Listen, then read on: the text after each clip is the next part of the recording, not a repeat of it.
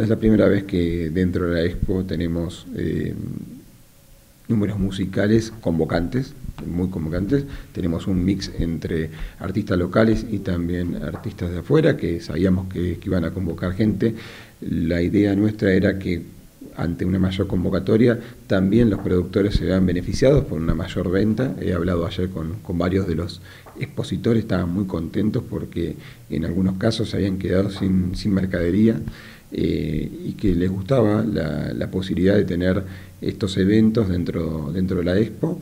Eh, hay una cuestión en cuanto a la, capacidad del gimnasio, eso no, es que no lo sabíamos, sí lo sabemos.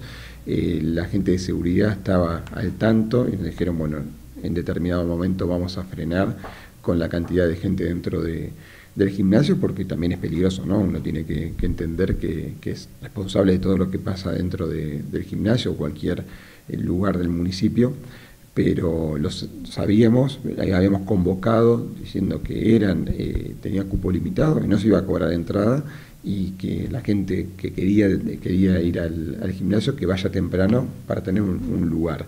En un momento de la noche se pidió sacar las mesas, así había más lugar. Gente que estaba haciendo la cola pudo ingresar y otra gente lamentablemente quedó, quedó afuera. Era 100 metros de, cola en la avenida Alvear que no, habían podido ingresar. Me hice presente para hablar con la gente de policía y la gente de protección civil municipal para ver la posibilidad de, que ingresen y se queden en los, en los laterales, pero bueno, nadie garantizaba que se iban a quedar en los laterales, por lo tanto la decisión fue que, no, no, pudieran ingresar. Veremos eh, el, día de hoy, con, Joel como número central, si disponemos de alguna manera mejor los lugares o si hay, se pueden desarmar algunos stands cuando hay un, un acto central, pero es una decisión de los organizadores. y en el día de mañana, ¿cómo va a ser para que aclarar esto? Porque la gente no sabe.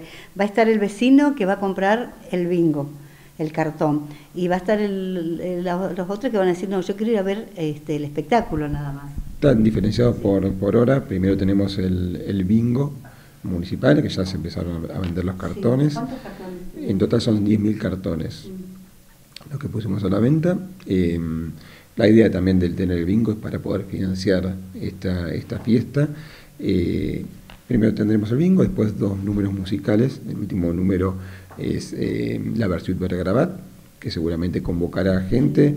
Y mm, la capacidad máxima del gimnasio, sin los stands, porque en este caso ya no es más expo, es de 4.500 personas eh, Matías, y el tema de, para aclarar bien mañana, el que no tenga el cartón eh, no puede entrar, pero eh, cuando empiece lo de la Versuit, o puede ir y bueno. No, mira, comprar un cartón no significa que, tienen que estar presentes para ver si gana o no gana. No es que si gana tiene que estar ahí para que le entreguen el premio. Puede ser que una persona que haya comprado el cartón y como cualquier telebingo.